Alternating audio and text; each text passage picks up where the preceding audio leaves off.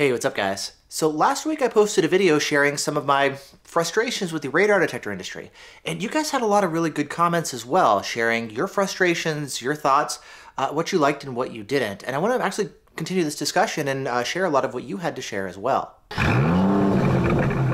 Now, from a high level perspective, I think the biggest concern with the radar detector industry is not so much that things have peaked, maybe to some extent, which we'll touch on here in just a moment, but I feel like some of the basic core stuff is just not being met. When it comes to your key features that you advertise that need to be available here in a radar detector, a lot of companies are not really meeting the bar as far as like what I would consider to be the minimum level of acceptable capability and performance. Now, for some of these features, I don't think there's a good excuse for this stuff not being implemented. For other ones, I could see, hey, you know, the fact is it's easier said than done.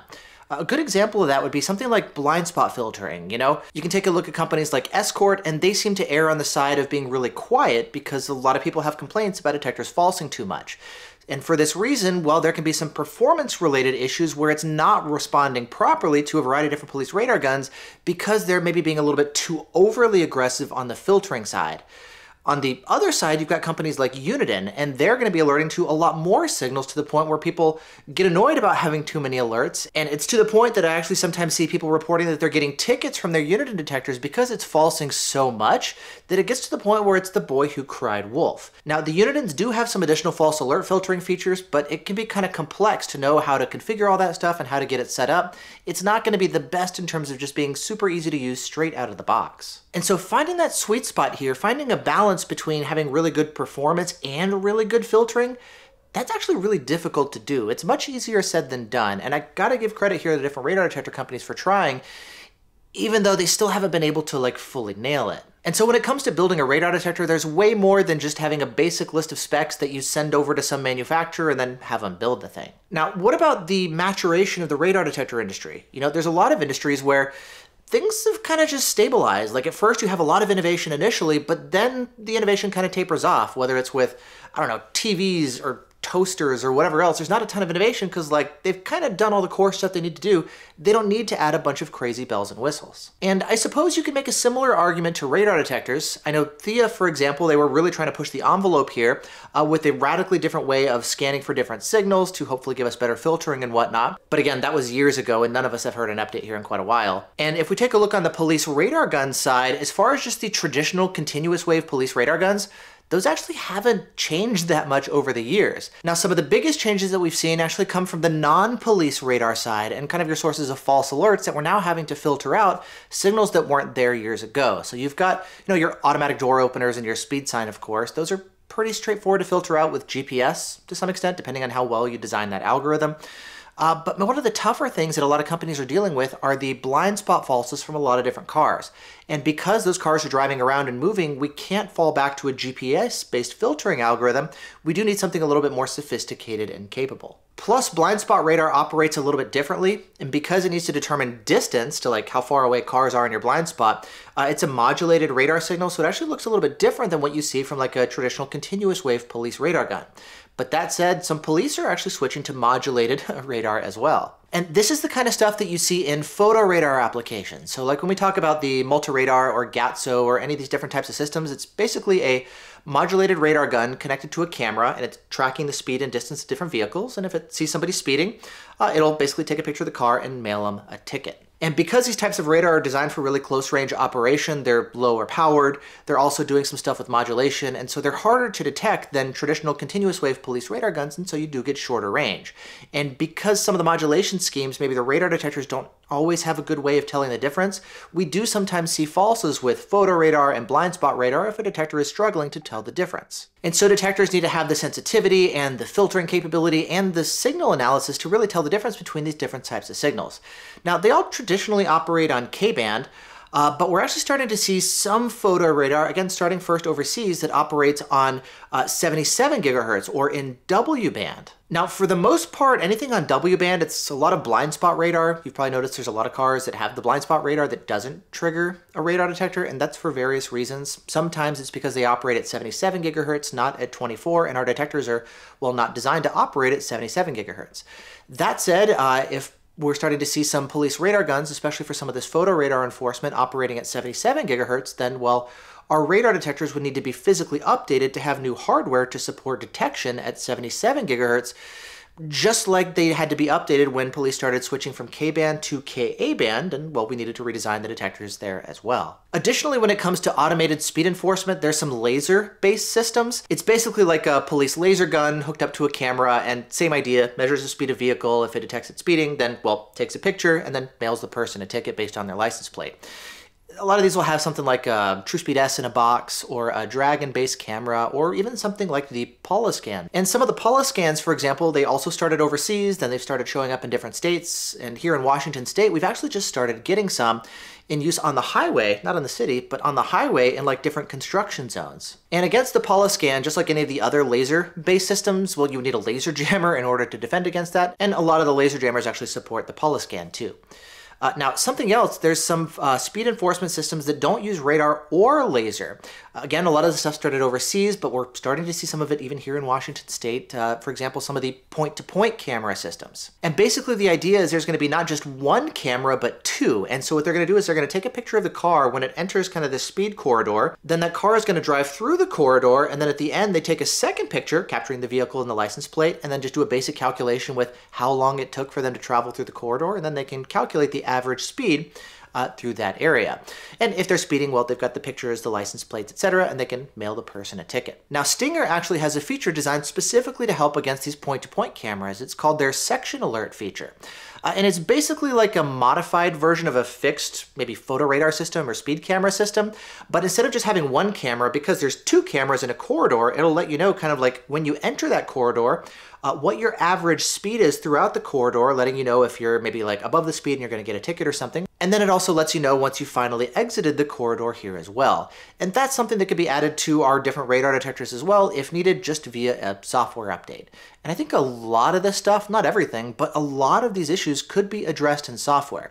Some things like the photo radar detection may take some hardware updates, but a lot of the stuff, especially some of the bugs that I discussed in the beginning, it's really fundamentally just software stuff. And speaking of software, one thing that would be pretty low-hanging fruit is supporting an open API. It's what Valentine did years ago, and it's been awesome for them to have third-party developers building apps for their detectors.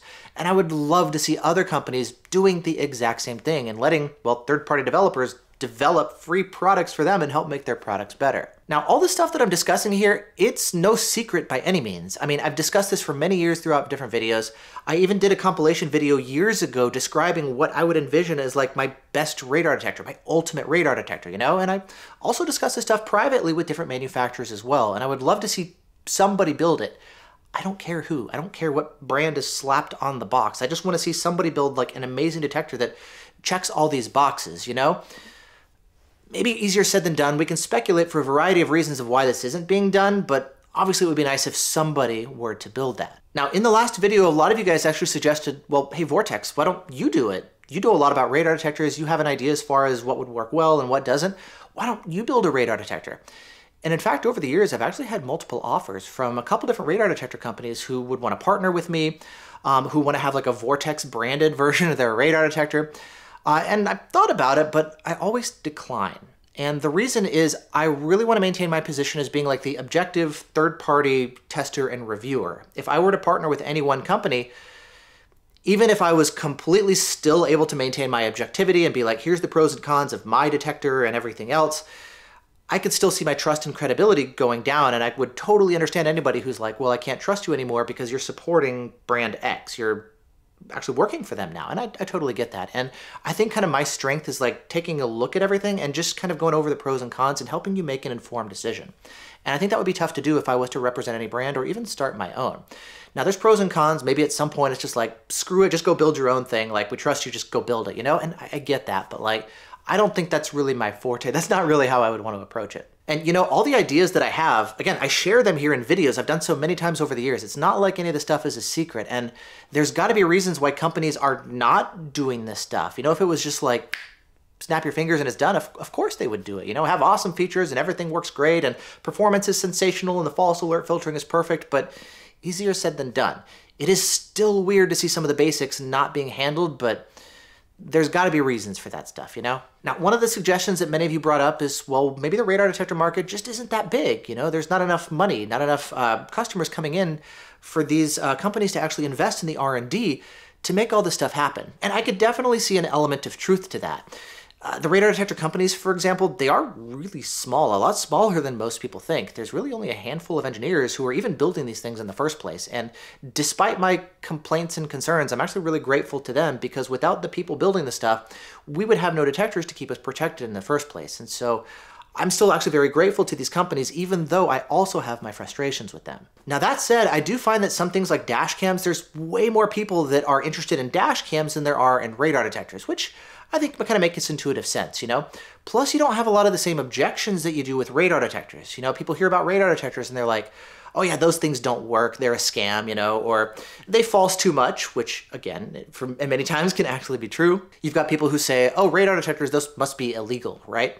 Uh, and then, of course, maybe one of the biggest ones is people like, well, why don't you just do the speed limit? You know, like speeding is dangerous. It's a horrible idea. And that's, I think, one of the most common knee jerk reactions, which I think is totally understandable, especially if you don't take the time to do a little bit of critical thinking and consider the fact that the world isn't actually black and white. Like it requires a little bit of nuance here to this discussion. And so while I definitely find that perspective to be understandable, there's a lot more to it than that. Now, if a lot of the radar detector companies were bigger and there was a much wider audience of people buying these things and well funneling money into the companies so that they could invest in the R&D and stuff, maybe we would see more innovation and development, you know? Not to the level of something we would see out of companies like Apple or Google or Samsung, like these massive companies producing, you know, incredible phones and all this tech and stuff there's not going to be that level of innovation and development, but still, maybe if the companies were able to get more money, they could do more development. So maybe it is a size thing, both on the radar detector company side and on just the market size as well. A number of you have also mentioned how companies a lot of times will prioritize profit over performance, maybe focusing more on marketing or something. And again, I'm not the CEO of a big company with a bunch of employees that I'm responsible for or shareholders or anything, but I can understand companies who, well, they need to make a profit, right? They have to pay their employees, they have to make sure that they're growing and all that kind of stuff. Additionally, we see sometimes companies will uh, get partnered with venture capital firms, right? It's a way to get money and expertise and all that kind of stuff, but I've never really seen that to pan out long term. Like Escort has done that. Uniden actually did it as well back in 2022, and again, I've never seen that pan out long term where I'm really impressed with what happens to the company. A lot of times it can wind up with the company getting sliced and diced, or they're just trying to like quickly boost profits and then flip the company for a profit or something. I don't really see like the long term uh, innovation and development there. I would love to be proven wrong, but that's just not like historically what I've seen. A lot of you have also mentioned Waze, and that could be a reason why somebody would not pick up a radar detector, especially if they think that Waze is like a substitute for a radar detector uh, which it's not. I think Waze is fantastic. I use it on basically every drive, but I think it's actually a complement to a radar detector. I've done a whole video comparing Waze versus radar detectors. In short, they each have their pros and cons. They kind of fill in the gaps that the other ones don't offer. I actually think Waze does a better job of protecting you against laser than it does against radar because police using laser guns, well, they have to be stationary. Um, and so if they're set up with a speed trap, they can get marked on Waze or something. Versus if an officer's driving around with uh, radar, there's no way to mark them there on Waze, you know? So you kind of need like both of them. They each have their pros and cons. And so either way here, as far as radar detectors themselves, well, what's next? Well, I'm hoping that companies will at some point just step up their game and be like, hey guys, let's let's do this. You know, let's let's nail the basics. Let's make sure all the key stuff is just working well. I don't think that's too much to ask for. I don't think that's unreasonable or anything, but like just nail the basics, you know? And then as far as my role here, I've already shared my thoughts here, both publicly and privately, many times. And at this point, it's up to the companies themselves to do whatever they're going to do. They can listen to me, they can listen to you, they can listen to other customers who call in.